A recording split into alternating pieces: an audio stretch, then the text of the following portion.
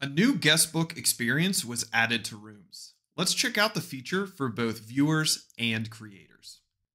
Just like previous guestbooks, visitors will be able to write entries by tapping or pressing the Add Entry button. But now, as the creator of the room, you will receive a notification and email to let you know that a comment was added. This comment will now be added to the guestbook just as before, but the real power comes from the new feature on the creator's side. When in edit mode for your room, you will see a new option at the bottom right corner of the screen.